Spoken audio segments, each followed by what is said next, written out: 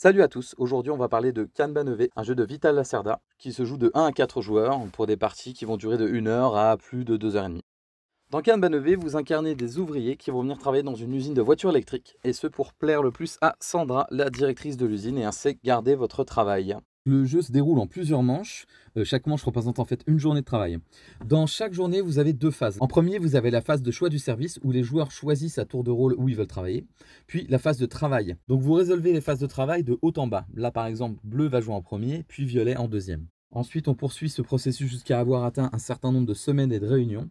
Et après euh, le décompte final, le joueur avec le plus de points de production est déclaré vainqueur. Au début de la partie, après la mise en place, mais avant que la partie ne commence, vous choisissez un premier joueur à hasard. Et en commençant par ce joueur et dans le sens horaire, chaque joueur va placer son marqueur de certification sur une case vide dans la section la plus à gauche de la piste de certification. Quand vous placez votre marqueur de certification, s'il y a un bonus dessiné dessus, vous le gagnez ce serait une rotation en réserve, un livre ou un bon pour pièce. Donc imaginons que le bleu vienne se placer ici et le violet ici. Le violet est maintenant le premier sur la piste de certification. Donc le marqueur du joueur le plus à droite est en fait le premier. Dans cet ordre-là, de droite à gauche, du coup, chaque joueur prend une pièce détachée depuis la logistique et une tuile design du bureau d'études. Tous les designs peuvent être pris, y compris un design d'une des piles à gauche. Par contre, vous ne pouvez pas gagner les bonus qui sont indiqués à droite. Une fois que tous les joueurs ont pris une tuile, vous remplissez les emplacements vides du bureau d'études en faisant glisser les tuiles de la gauche vers la droite et en remplissant les emplacements encore vides avec les tuiles de la pile correspondante. Ne remplacez pas les pièces détachées. La phase de choix du service. Le premier jour de la partie, euh, vous placez vos meeples dans un ordre qui est déterminé par la piste de certification. Le joueur qui est le plus à droite commence à placer son meeple en premier. Sandra est déjà à son bureau. Ensuite, pour toutes les manches suivantes, c'est de haut en bas que les joueurs choisissent où ils vont se placer. violet sélectionne en premier où il va se placer et il doit sélectionner un service différent de celui dans lequel il était. À deux joueurs, vous n'êtes pas autorisé à jouer dans un poste du service où se trouve Sandra. La phase de travail. Dans l'ordre des meeples ouvriers de haut en bas, chaque joueur effectue son tour et accomplit des tâches. Euh, le nombre de points d'action que vous avez durant votre tour, qu'on appelle points de rotation dans ce jeu, sont déterminés par les postes sur lesquels vous vous placez, plus 2 ou plus 3 indiqués en vert.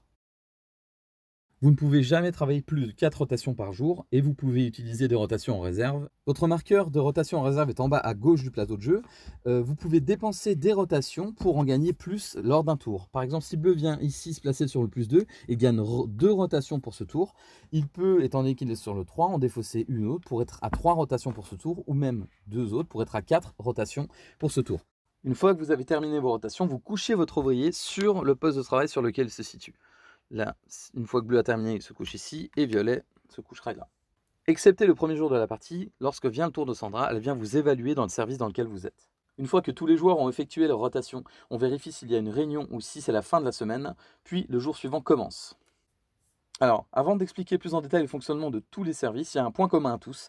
Chaque service a sa propre piste formation. Vous avez donc 5 services dans l'usine, donc 5 pistes de formation. Lorsque vous travaillez dans un service, l'une des tâches que vous pouvez accomplir, c'est de suivre une formation dans ce service. Pour chaque rotation que vous consacrez à cette tâche, vous déplacez votre marqueur le long de la piste de formation. Tous les marqueurs commencent ici sur la croix, et puis après, vous avancez sur la piste selon le nombre de rotations que vous y avez consacré. Un exemple ici, si Violet dépensait deux rotations pour se former dans ce service, il avancera son marqueur de 2. Une fois que vous avez franchi la flèche de la piste de formation d'un service et que vous arrivez dans la zone blanche, vous êtes considéré comme étant formé dans ce service. Pas formé, mais certifié. Il y a une différence. Vous êtes considéré comme étant certifié. Une fois que vous êtes devenu certifié dans un service, vous avez plusieurs étapes à réaliser. Vous défaussez le cadenas de la section correspondante de votre plateau joueur. Vous choisissez une case vide de la section suivante de la piste de certification par rapport à l'endroit où vous êtes. Vous déplacez votre marqueur et vous obtenez éventuellement et vous obtenez éventuellement le bonus. Vous vérifiez si vous avez atteint un objectif d'usine ou pas.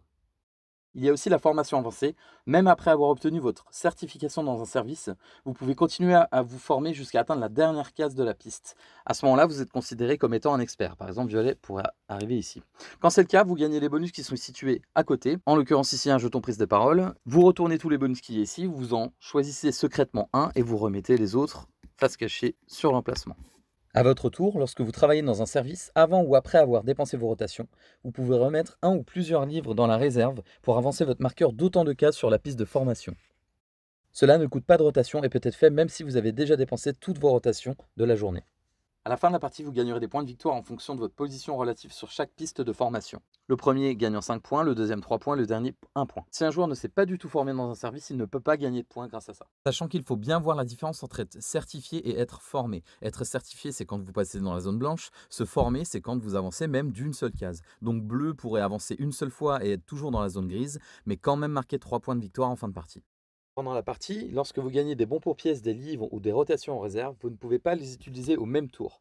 Vous les mettez donc sur le côté de votre plateau joueur et vous serez autorisé à les mettre sur le plateau joueur à la fin de votre tour pour les utiliser à un tour ultérieur. Lorsque pendant la partie, vous gagnez des jetons prise de parole neutres, vous les défaussez immédiatement pour les remplacer par des jetons prise de parole à votre couleur que vous placez sur votre plateau joueur. Si votre plateau est complet et que tous les jetons prise de parole ont été placés, vous pouvez placer le jeton prise de parole neutre à côté de votre plateau. Vous pourrez l'utiliser ultérieurement après une réunion. Les services et tâches. On commence par le bureau d'études.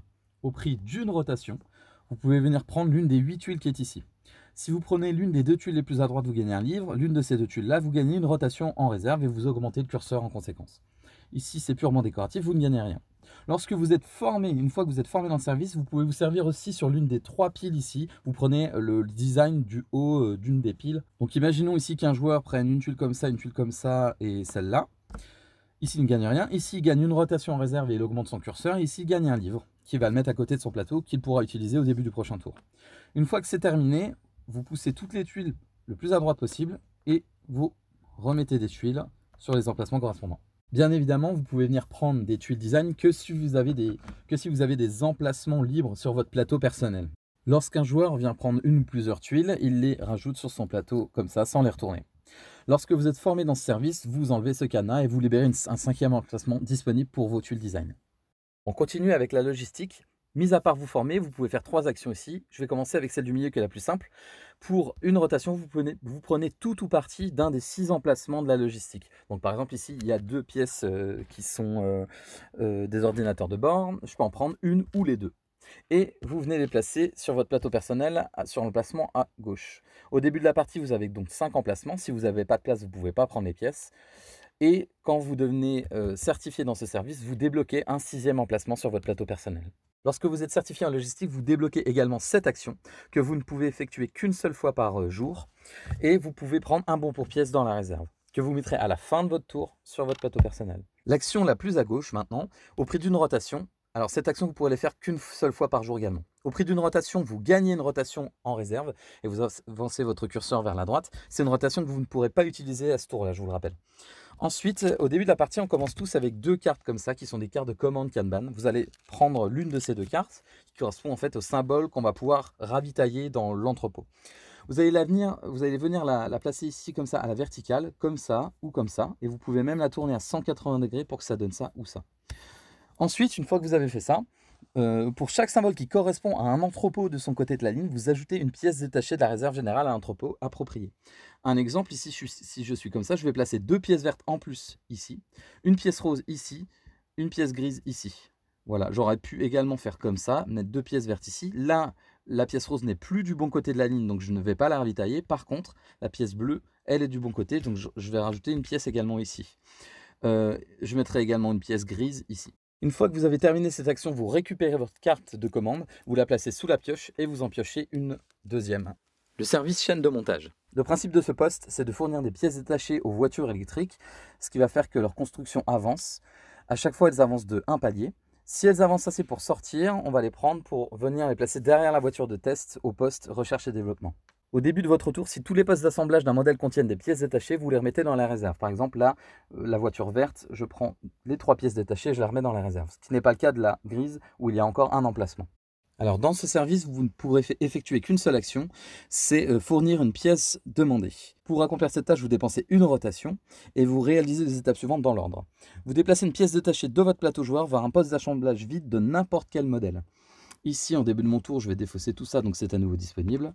Et derrière les voitures grises, il n'y aura plus qu'une seule place. Au lieu d'utiliser une pièce détachée de votre plateau, vous pouvez utiliser un bon pour pièce. Auquel cas, vous défaussez le bon pour pièce et vous venez, prendre euh, dans la réserve générale une pièce détachée que vous allez placer tout de suite derrière l'une des voitures. La pièce détachée doit être différente de toutes celles qui se trouvent actuellement sur les places d'assemblage. Vous pouvez utiliser le recyclage. Si le modèle a fait l'objet d'une amélioration qu'on verra en recherche et développement, vous devez d'abord fournir les pièces détachées améliorées du modèle. Donc imaginons que là, je fournisse une pièce pour la voiture grise, elle va venir avancer, elle va pousser cette voiture. Là, j'ai deux choix. Soit je peux aller par ici ou par là.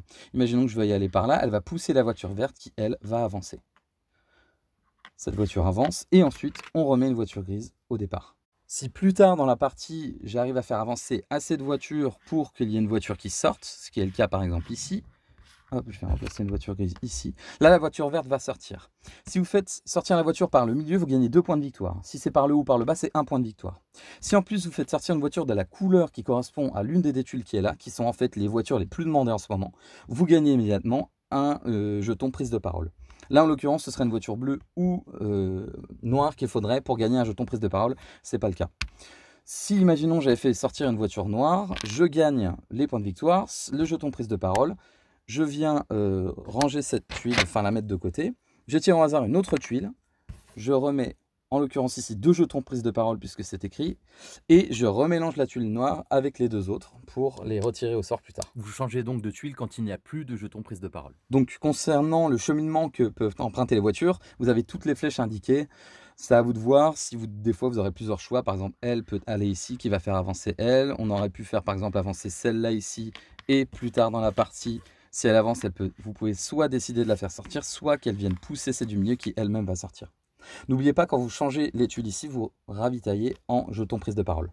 Si vous arrivez à être certifié dans ce service, l'avantage c'est que vous débloquez, vous enlevez le cadenas, vous débloquez un cinquième garage, puisque quand vous placez les voitures, vous les placez sur le garage. S'il n'y a pas de garage disponible, vous ne pouvez pas prendre de nouvelles voitures. Si plus tard dans la partie, vous arrivez... Alors, vous gagnez, vous voyez qu'il y a 4 bonus ici, vous ne les gagnez pas tout de suite. Plus tard dans la partie, si vous arrivez à placer une voiture dans ce cinquième garage, vous, avez, vous allez gagner 2 bonus sur les 4 représentés. Tout en bas à gauche du plateau général, vous avez le recyclage. En tout début de partie, avant la partie, on met au hasard trois pièces ici dans le recyclage. Et durant votre tour de jeu, vous avez le droit d'échanger autant de fois que vous le souhaitez euh, les pièces qui sont ici avec les pièces de votre plateau. Imaginons là, je pourrais mettre celle-là et reprendre celle-là. Je pourrais mettre une comme ça et reprendre celle-là. Vous pouvez le faire autant de fois que vous voulez, mais à la fin, il faut qu'il y ait trois pièces toujours dans le recyclage et trois pièces différentes. Vous n'avez pas le droit de, faire de laisser deux fois la même. Petite précision, le recyclage ne peut pas être utilisé pendant les réunions. Nous verrons ce qu'est une réunion un peu après. La section recherche et développement. En recherche et développement, outre le fait de vous former, vous pourrez revendiquer des voitures ou améliorer un design. Pour revendiquer des voitures, vous allez devoir posséder les tuiles design correspondantes. Exemple ici, euh, je vais pouvoir revendiquer que la voiture verte ou la voiture rouge puisque je vais devoir défausser les designs correspondants.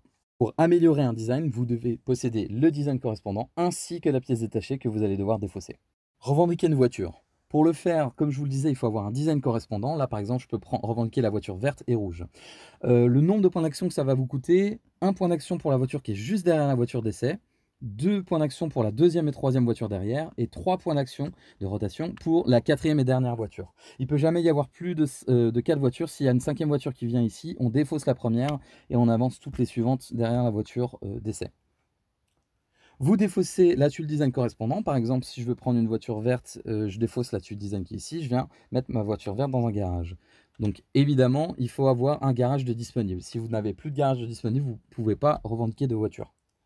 Ensuite, vous venez défausser euh, la tuile design correspondant à la voiture que vous avez prise euh, sous la pile centrale de la partie bureau d'études. Après avoir terminé de revendiquer vos voitures, vous avancez la voiture de sécurité d'un nombre des cases égal au nombre de voitures que vous avez euh, revendiquées. J'ai revendiqué ici deux voitures, j'avance donc de deux et je viens coller les autres voitures derrière la voiture de sécurité. Si lorsque vous faites ça, la voiture de sécurité atteint ou dépasse une case rayée, euh, ça va déclencher une réunion. Vous prenez le marqueur réunion, vous le placez en bas du plateau et à la fin de cette journée, il y aura une réunion. Ensuite, les voitures que vous avez revendiquées, vous les placez sur vos garages et vous gagnez les bonus correspondants. Ici, un jeton prise de parole. Ici, vous gagnez deux euh, rotations réserve, deux livres, deux bons pour pièces et deux cadeaux sur les quatre. Euh, tout ça, vous ne pourrez pas l'utiliser à votre tour de jeu. Hein. Vous les mettez sur le côté euh, du jeu, pour ce qui est en tout cas des jetons, et à la fin de votre tour, vous les placez sur votre plateau joueur. Les voitures que vous avez revendiquées restent dans vos garages jusqu'à la fin de la partie, donc les bonus que vous avez revendiqués sont un one-shot. Vous ne les aurez qu'une fois. Vous pouvez éventuellement retourner les jetons pour montrer que c'est plus valable. Et enfin, dernière chose, vous vérifiez si vous avez atteint un objectif d'usine. Ici, quand j'ai trois voitures dans mon garage, je gagne un jeton prise de parole. Ici, c'est quand j'en ai cinq. Maintenant, l'action améliorer un design. Ça vous coûte une rotation.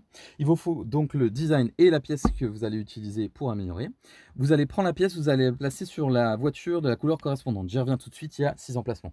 Vous allez prendre le design que vous améliorez, vous le retournez et vous le placez à droite de votre plateau. Vous scorez immédiatement deux points de victoire comme écrit sur la tuile. La pièce que vous avez utilisée, vous la placez sur l'un des six emplacements de la couleur de la voiture correspondante et vous gagnez le bonus. Ici, ça peut être 4 points de victoire, 3 points de victoire, un livre ou une rotation en réserve. Mettons, je veux un livre, je place ma pièce ici. Vous augmentez immédiatement la pièce de la couleur correspondante d'un cran à droite. Voilà. À chaque fois qu'un design est, amélioré, la pièce de la couleur augmente de 1 vers la droite ici. Donc en fin de partie, tous les designs améliorés, testés que vous aurez de l'élément euh, moteur vous rapportent 2 points de victoire. Ça, c'est important de le savoir, de bien le retenir, parce que c'est un gros moteur à point de victoire en fin de partie. Qu'est-ce qu'un design amélioré testé? C'est un design, donc un design amélioré, c'est un design que vous avez mis sur cette face-là, à droite de votre plateau, et il devient testé quand vous avez une voiture de la, couleur correspondante. Ça peut se faire avant ou après avoir amélioré le design hein, que vous ayez la voiture. Quand tel est le cas, vous prenez la tuile et vous la mettez au-dessus de la voiture avec la couleur correspondante. Mettons là, j'ai deux designs euh, que j'ai réussi à améliorer pour la voiture rouge un vert, enfin un de batterie et un de transmission. Vu que j'ai la voiture rouge dans mon garage, je viens les placer là-haut. Si en fin de partie, l'élément euh, batterie a terminé au niveau du 5 et la transmission au niveau du 4, ça, ça m'apporte 4 points de victoire et ça, 5 points de victoire. Étant donné que tous les joueurs font augmenter ça durant la partie, ça, c'est une grosse machine, en fin euh, c'est une grosse machine pardon, à points de victoire en fin de partie. C'est important. Petite parenthèse, vous avez des emplacements où il n'y a pas de cadeau, il n'y a pas de bonus. Hein. Par exemple, ici, si vous placez une pièce ici, vous ne gagnez rien. Ici ou ici, vous ne gagnez rien non plus. Quand vous améliorez un design, je vous rappelle que vous pouvez défausser un bon pour pièce pour prendre dans la réserve la pièce correspondante et venir la placer. Pareil, n'oubliez pas que durant votre tour, vous pouvez utiliser librement le recyclage pour changer des pièces. Enfin, vous vérifiez si vous avez atteint un objectif d'usine. Ici, je gagne un jeton prise de parole si j'ai amélioré mon deuxième euh, design. Ici, un jeton prise de parole si j'ai amélioré mon quatrième design. L'avantage de la certification en recherche et développement, quand vous défaussez ce cadenas, vous gagnez cette tuile double amélioration à usage unique. C'est un one-shot en cadeau. Euh, vous avez dorénavant le droit, quand vous améliorez un design, de pousser le jeton correspondant deux fois. Vous le retournez pour montrer qu'il a été doublement amélioré. Un jeton ne peut être doublement amélioré qu'une seule fois dans la partie par un seul joueur. Ici, vous gagnez tout de suite les points de victoire de là où il vient d'arriver. Ici, ce serait 6 points de victoire. Et vous retournez cette tuile qui n'est plus accessible durant la partie pour vous. Le service administratif. Outre le fait de vous former, pour une rotation, vous pouvez aller travailler dans un autre service. C'est un seul autre service. Pour vous former ou travailler, euh, faire des actions dans un autre service. C'est à vous de choisir comment vous souhaitez dépenser vos rotations entre le fait de se former ici au service administratif et ailleurs dans un autre service ou même faire d'autres actions ailleurs dans l'autre service. Donc c'est un endroit un peu de joker ici. Vous voyez, vous gagnez que une ou deux euh, rotations mais ça vous permet de pouvoir aller travailler dans un autre service si d'autres joueurs s'y sont déjà placés. Quand les joueurs sont nombreux autour de la table, c'est un service qui est pratique quand même ici pour pouvoir aller travailler ailleurs. Lorsque vous devenez certifié dans ce service, vous défaussez immédiatement le cadenas qui est ici sur votre plateau et vous débloquez un cinquième emplacement pour un jeton prise de parole. Sandra, la directrice de l'usine. Le premier jour, Sandra est dans son poste tout en bas, elle ne bougera pas, elle viendra pas vous juger dans les différents services. Mettons que les joueurs fassent leurs différentes actions, ils couchent leur meeple à la fin du premier jour. Au début du deuxième jour, de haut en bas, chaque joueur replace son meeple. Le bleu, par exemple, pourrait venir euh, ici. Le jaune, par exemple, pourrait venir ici. Sandra, comme n'importe quel, en fait, est un autre joueur qui se rajoute. Et comme n'importe quel joueur, elle prend le meeple et elle vient se placer de haut en bas. Donc là, elle se placerait sur le premier poste du premier service disponible. Là, ce sera en recherche et développement. Et elle va venir ensuite ici évaluer les différents joueurs. Mettons que Sandra joue, elle évalue le joueur, ensuite le bleu fait son action, le jaune son action. Au début du jour suivant, toujours de haut en bas, on déplace les meeples. C'est Sandra qui commence à se déplacer au début du troisième jour dans euh, ce cas-là. Ici, elle va venir, alors elle change systématiquement de service, donc là elle arrive ici, et le premier poste de libre, c'est le plus 2 ici. Et ensuite, les joueurs vont venir se placer comme d'habitude. Si lorsque Sandra se déplace, tous les postes sont pris pour le service suivant, elle vient directement au service d'après, au premier emplacement de disponible. À partir du deuxième jour de travail, quand Sandra arrive dans un service, elle vient évaluer le ou les joueurs les moins formés. Euh, ici, ce serait bleu qui serait évalué. Dans cette configuration-là, ce serait bleu et violet qui seraient évalués. Si vous êtes évalué par Sandra, vous vérifiez le critère de sanction sur le tableau que vous avez en aide de jeu ici ou dans les règles du jeu.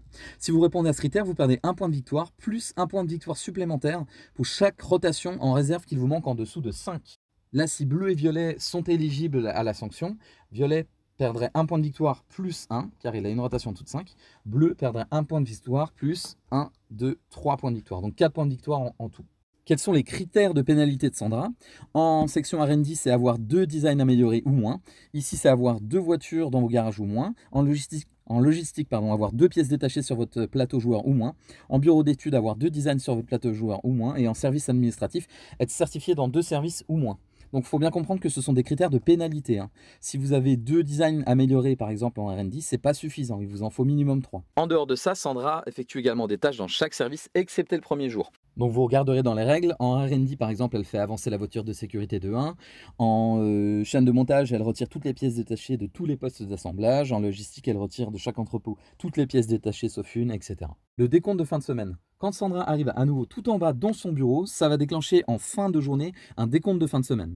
Quand ça se produit, vous allez gagner des points de victoire euh, comme suit. Pour chaque voiture dans votre garage, vous gagnez un point de victoire pour chaque amélioration apportée à ce modèle. Peu importe les joueurs qui ont été à l'origine de cette amélioration. Donc pour ce faire, vous comptez le nombre de pièces détachées sur les emplacements d'amélioration du modèle. Donc ici par exemple, j'ai deux voitures rouges, une voiture grise. Là, la voiture grise a été améliorée trois fois, donc ma voiture grise m'apporte trois points de victoire. Ma voiture rouge a été améliorée deux fois, donc j'ai deux fois deux points de victoire puisque j'ai deux voitures rouges, donc quatre points de victoire. Ensuite, vous gagnez un point de victoire pour chaque design testé que vous avez de ce modèle. Donc il faut bien comprendre que c'est pour chaque voiture. Ici, j'ai deux voitures rouges, j'ai trois designs testés de modèles de voitures rouges, donc trois points de victoire pour cette voiture et trois autres points de victoire pour cette voiture, six points de victoire en tout. Je n'ai pas de design amélioré euh, pour les voitures grises, donc zéro point de victoire. Ensuite, vous avancez le marqueur de semaine d'une case, sauf s'il est déjà sur la case numéro 3. Comme on l'a dit précédemment, quand la voiture de sécurité atteint ou dépasse une case rayée, vous déplacez le marqueur réunion sur l'emplacement réunion du service administratif et à la fin de cette phase de travail, de cette journée de travail, quand tout le monde a joué son tour, y compris Sandra, la réunion commence. Je vous rappelle que le recyclage ne peut pas être utilisé pendant une réunion. Pendant la réunion, vous allez pouvoir placer des jetons prise de parole que vous avez gagnés durant la partie sur votre plateau personnel pour marquer des points de victoire. Au début de la réunion, il y a quatre objectifs de performance sur la table. Chaque joueur en a également trois en main, dont une et seulement une devrait être jouée pendant la réunion. Pendant une réunion, les joueurs effectuent leur tour dans l'ordre de la piste de certification. Ici, violet va être premier, euh, jaune sera deuxième et bleu troisième. Quand c'est votre tour de jouer, vous devez faire l'une des deux options suivantes. Soit vous parlez, soit vous passez. Si vous décidez de parler, vous effectuez une de deux étapes suivantes ou les deux. Vous jouez un de vos objectifs de performance face visible sur la table près de la salle de réunion. Dorénavant, tous les joueurs pourront jouer dessus. Vous pouvez également placer un de vos jetons prise de parole sur l'emplacement vide de la valeur la plus élevée d'un objectif de performance. Vous ne pouvez pas jouer plus d'un jeton prise de parole sur une seule carte. Le fait de jouer une carte de votre main, vous devrez le faire une et une seule fois avant la fin de la réunion, avant de pouvoir passer. Si toutefois vous avez décidé de jouer un objectif de performance de votre main et de jouer aussi un, jeton prise de parole, vous devez le jouer forcément sur la carte que vous venez de placer. Deuxième option, vous décidez de passer. Vous pouvez passer que si vous avez déjà joué un de vos objectifs de performance. Alors par contre, lorsque vous passez, vous pouvez toujours participer à la réunion si vous obtenez un autre tour de parole plus tard dans la même réunion. C'est le cas quand vous passez, mais qu'au moins un joueur après vous continue de jouer. Quand ça revient à vous, vous pouvez à nouveau rejouer. Vous n'êtes pas obligé de placer un jeton parole sur la carte que vous avez jouée. Et vous pouvez jouer un jeton prise de parole sur une carte qui vous donne absolument aucun point de victoire. Vous avez le droit de le faire pour embêter vos adversaires en fait. Je vais vous donner des exemples de certaines cartes. Ici, 4 points de victoire par voiture grise dans vos garages. Euh, à hauteur de maximum 2. Si vous avez 3 voitures grises, vous ne pouvez pas marquer 12. C'est maximum 2 fois. Par contre, quand vous jouez le jeton prise de parole, vous le mettez le plus en haut possible. Et même si vous n'avez qu'une seule voiture grise, vous marquez 4 points de victoire, évidemment. Mais si un joueur en avait deux dans son garage, lui, il n'a plus que le x1 de disponible. Il pourra marquer maximum 4 points de victoire. Ici, 3 points de victoire euh, par service dans lequel vous êtes formé. Maximum 3 services, donc maximum 9 points de victoire. Là, 4 points de victoire par euh, tweet design euh, amélioré et testé. Maximum 2 fois, donc 4 fois 2, maximum 8 points. Et là, 4 points de victoire si vous avez une voiture dans les garages 1 ou 2 ou les deux. Un exemple de situation, ici par exemple on est en fin de réunion, Bleu n'a pas de voiture dans ses garages 1 et 2 donc il ne peut pas marquer de point de victoire ici, il n'a pas non plus de voiture grise donc il ne peut pas marquer de point de victoire ici. Mais il repère que Violet a une voiture grise dans son garage et en plus que Violet est en train de gagner la partie a le plus de points de victoire. Il peut tout à fait placer son jeton ici pour empêcher Violet de venir euh, scorer des points de victoire même si ça, ça rapporte 0 points de victoire à Bleu. À la fin de la réunion, vous rendez les jetons prise de parole utilisés à leurs propriétaires qui les placent à côté euh, de leur plateau, pas dessus. Euh, les jetons prise de parole inutilisés, ceux qui restent sur votre plateau joueur, comme celui-ci par exemple, ne sont pas déplacés. Ils vous serviront lors d'une réunion ultérieure. Si éventuellement vous aviez trop de jetons prise de parole et que vous en avez gardé des neutres, vous défaussez les neutres et vous re-remplissez votre plateau à nouveau. Ensuite, on défausse toutes les cartes qui ont été jouées, donc celles, les cartes de la réunion et toutes celles qui ont été jouées par les joueurs. À ce moment-là de la partie, chaque joueur a encore deux cartes réunion en main. Il va venir en placer une secrètement sur l'endroit réunion ici. Et une fois qu'on a joué toutes les cartes, on retourne tout face visible. Si éventuellement vous êtes à moins de 4 joueurs, on joue tout face cachée et puis on complète avec la pioche euh, les, euh, les emplacements où il manquerait des cartes.